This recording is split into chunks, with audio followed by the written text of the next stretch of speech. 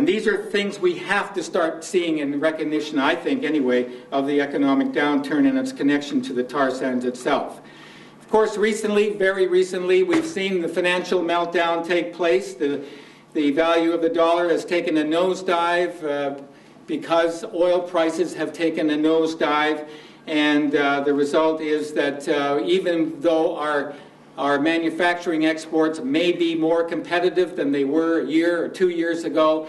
Uh, the problem is, of course, that they, we can't sell into the U.S. market because it is depressed.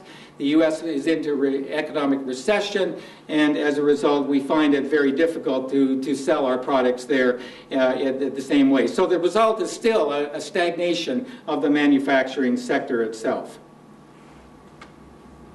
The thing I think we need to recognize from all of this, however, is that this is not just a cyclical thing like this and that. It's a problem of how we understand the economy and how we understand that it's important to be able to put in place the kinds of incentives that are going to help certain sectors of the economy to, to build, grow, and develop at critical moments.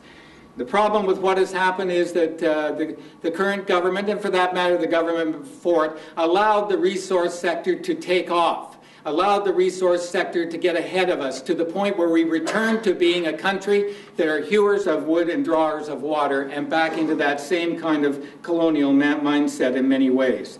The result has been an undermining of the manufacturing sector.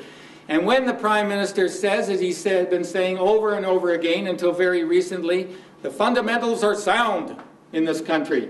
Nothing to worry about. Well, I'm sorry, but the fundamentals are not sound, and the structural imbalance and distortion that we see here is an example of how unsound uh, the, the, uh, the fundamentals really are.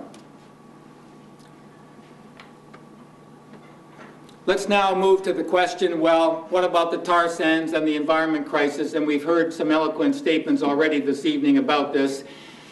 But uh, again, it doesn't hurt to, to walk through with a few visuals as to what the, what the, uh, what the real impacts are going to be. You have to, we have to keep in mind that, that very, you know, a couple of year, a year ago or so, I should say, there was a report that was put out that uh, by the Environment uh, uh, Defense uh, Council, Society Council? Environmental Defense. Environmental Defense, sorry, Environmental Defense uh, put this report out, which really caught the imagination in the media and the press, and that is to say the extent to which the tar sands really is environmentally the most destructive project on the planet, the most destructive project on the earth itself. And this is uh, part of the picture that I think we need to understand and grasp that and to see to what extent that is the case and how the tar sands continues to trigger an environmental crisis. We heard earlier from what David said uh, about uh, the, the fact that greenhouse gas emissions from the tar sands are three to five times that of conventional oil, and conventional oil is bad enough, as, as, uh, as Dave said.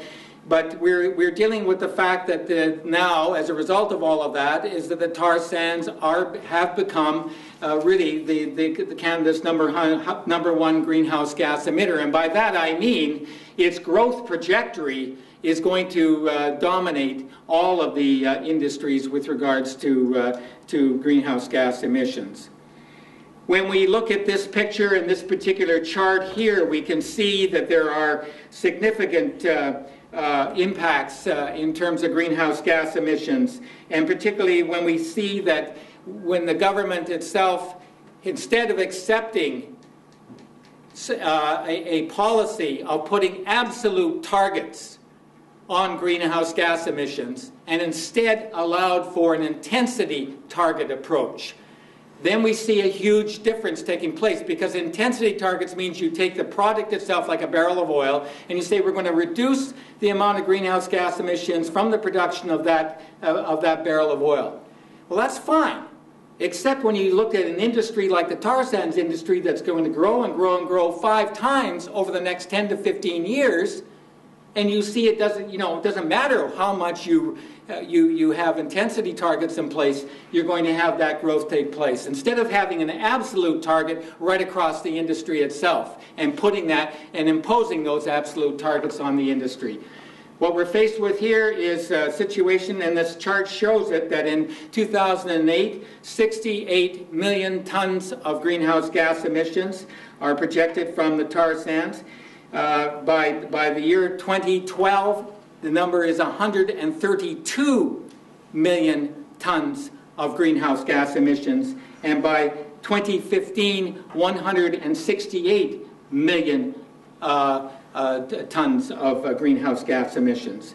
This is the problem that we're faced with with the growth cycle that exists with regards to the tar sands itself. But the problem is not just there. The problem is the strip mining of the boreal forest, again, as other people were mentioning, and what that really means. It's not just strip mining a beautiful forest area, which is bad enough. It's not just even turning it into a moonscape, which is even worse. But the problem really comes back to the fact that it's the boreal forests, the northern lungs of the planet, that are, for all intents and purposes, nature's carbon sink. That's how nature deals with carbon emissions. It absorbs it through the trees. And when we rip that out, when we rip a huge, massive hole in the, in the northern part of, uh, of Alberta and into uh, parts of the Northwest Territories, we are really ripping apart that carbon sink.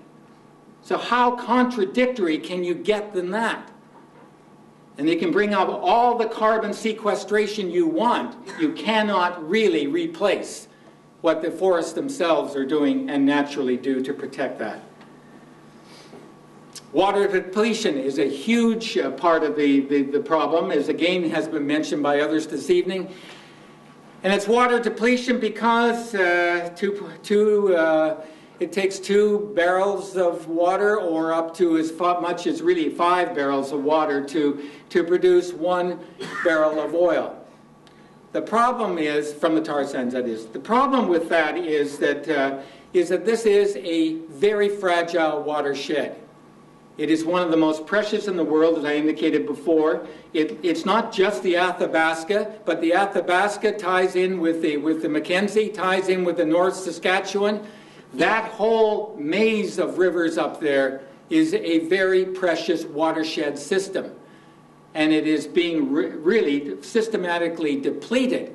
What's happening is that, uh, is that they cannot move barges now up and down the Mackenzie River uh, because there's been a draining of the Athabasca River below it and has created huge problems for, uh, for many of the indigenous peoples and other, uh, uh other people in, in, in the uh, Northwest Territories in terms of moving their, their, their, their products and their ship, shipments up and down north and south.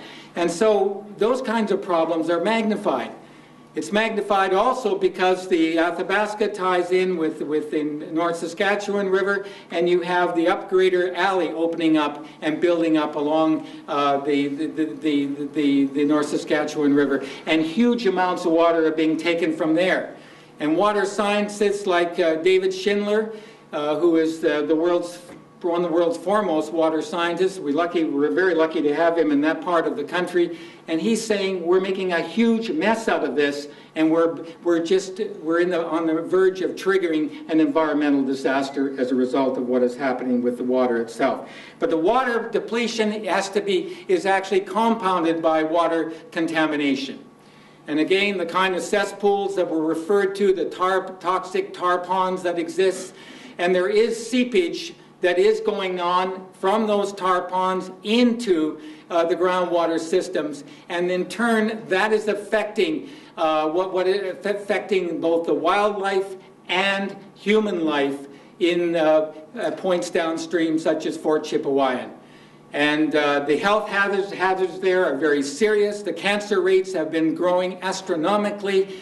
There are huge health problems for the people in that region. In the case of uh, moose, in that region, they have found uh, arsenic traces that are 453 times what is normally allowed in terms of arsenic as a result of what is happening in the tar sands. And fish have been deformed, as you see through this, uh, through this right-hand photo here on the, on the screen. Fish are deformed, and this is the staple diet of the indigenous peoples in Fort McKay, in Fort Chipewyan, and many other places in the region.